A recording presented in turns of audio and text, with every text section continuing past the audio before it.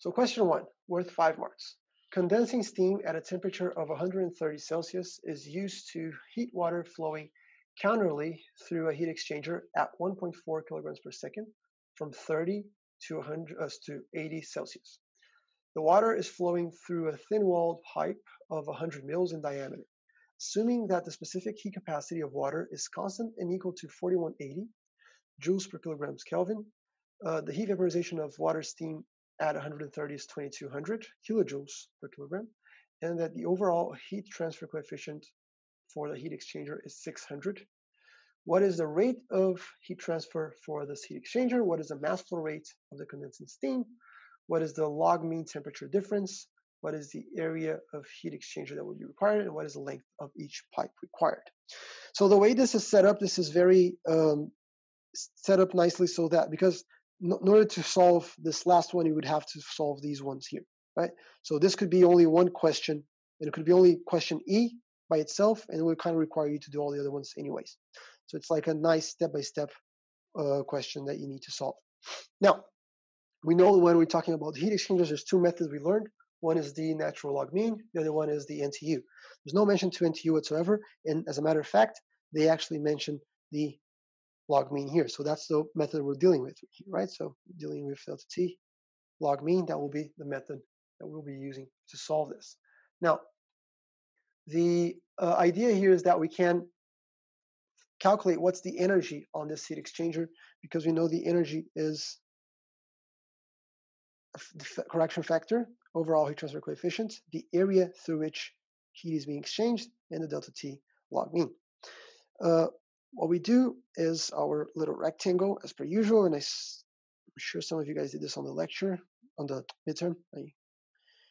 And we have steam going to from one side to the other, and water flowing counterly, so on the other to the other direction. Water enters at 30, leaves at 80, and then one of the things we need to remember is that remember from our first tutorial, week two, we learned that if something is changing its phase, so if it's going from solid to liquid, liquid to vapor, liquid to gas, as it's changing phase, it's not changing temperature, right? So all the energy doesn't come from the difference in temperature, it comes from the condensation, the heat of vaporization, the latent heat. So in this case here, this guy is at 130. So if it's just condensing, that means that this 130 won't change, right? It's going to enter at 130, condense, give away energy, and leave at 130. So because we know that, we also can infer that the energy is coming from the steam into the water. And we can start calculating the things we need to calculate. So the first thing is, what is the rate of heat transfer for this heat exchanger? So he wants to know this Q here. Well, this first fellow we know already because there's nothing mentioning this, so this is going to be 1. We don't have to worry about it. This has been given. This has been given as 600. Okay, we don't know this guy, and we don't know yet this guy. We can calculate it, but we don't know it yet. So it wouldn't really make sense for us to use this equation to find what is the Q because you wouldn't be able to find the area. However, we know that all the energy, we know that the energy the water is absorbing is related to its mass flow, its heating capacity, and the temperature change that it suffers, right? Likewise, we know that the energy being given away by steam equals its mass flow rate times its latent heat or its heat of vaporization. Now, you don't need to remember this is something you need to memorize, right? Because what we can do is we can actually look just at this fella here and we can look at the unit, it says kilojoules per kilogram. So if I multiply by the mass of steam that I have, that's going to give me kilojoules, right? That's going to be energy. And if I want rate of energy, then I can multiply by the mass flow rate. That's going to give me kilojoules per second, which is kilowatts. The last thing we know is that because energy cannot be created or destroyed, that these two guys have to be equal, right? These two guys have to be equal because all the energy leaving from the steam has to go into the water. So for us to calculate what is the Q, what's so part A, what is the Q of water, we can simply do the mass flow rate of water, which is given, and it's 1.4 times CP of water, which is also given as 4180.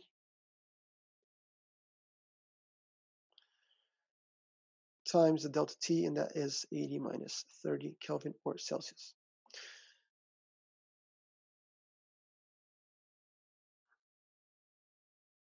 And this is 292.6 kilowatts. Already divided by 1,000, that will be kilowatts.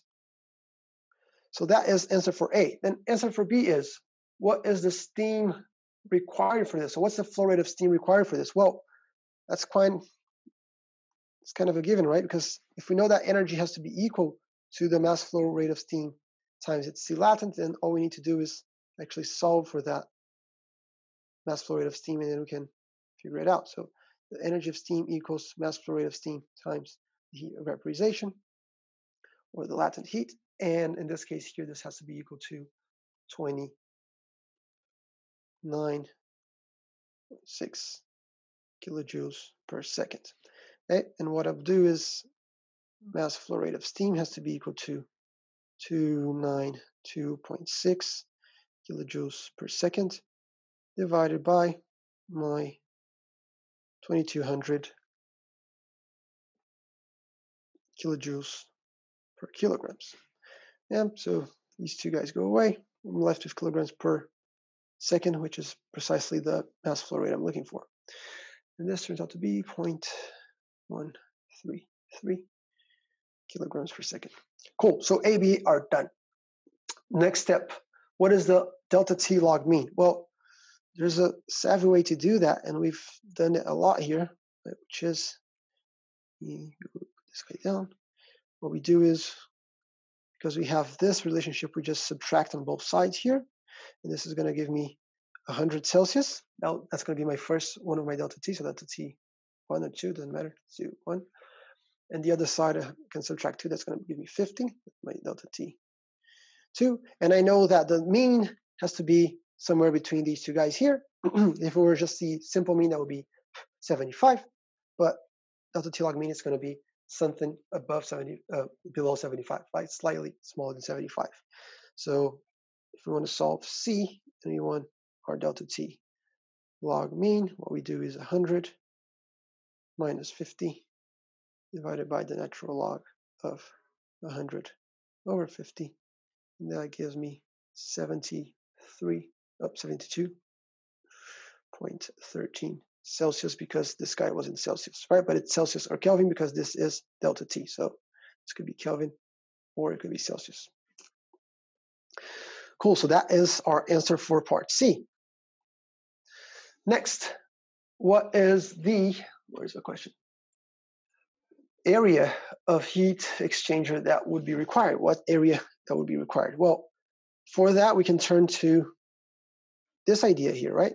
Because if this is true, then that means that, zoom in, that means that the area is just the amount of energy that is being exchanged if fu delta t log me. Now we have everything I need, so I can actually plug these guys in. So let's solve for part D. So the area will be my 20, what was it? 20, 292, 292 uh, watts. So note I didn't put in kilowatts and left it in watts because of the units. And then I have on the bottom here one for my correction factor. And I have 600 watts meters squared Kelvin for my overall heat transfer coefficient, and I have 72.13 Kelvin or Celsius for my delta T log mean. This goes away, this goes away. I'm left with meter squared on top, which is precisely the unit for area, so I'm happy. And this is 6.76 meters squared. Okay, so that will be part D. And then last but not least, uh, E, what length of pipe would be required? So for the last mark on this question, we're asked, okay, if my area is 6.76 meters squared, what is the length of each of the tubes? And then we know that these are thin walled tubes and they have a diameter of 100 mils. So if they have a diameter of 100 mils, this is a cylinder, then we can calculate the overall area. And we know the area of one cylinder will be 2 pi r L. 2 pi r being the circumference times L, which is the length. And this is the same thing as pi diameter times L, right? So either way, you can use. We already know this area. We know pi, we know diameter. So the only thing we don't know here is L, the length, which is precisely what is being asked. So if we want the length, we just do 7, 6.76 squared divided by pi with no units divided by our 100 mils. So 100 times 10 to the minus 3. And this is meters.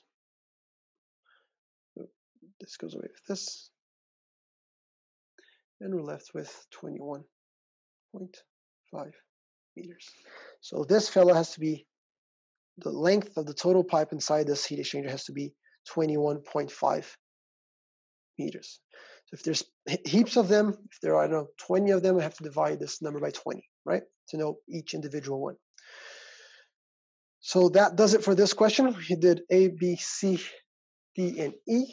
Do you guys have questions?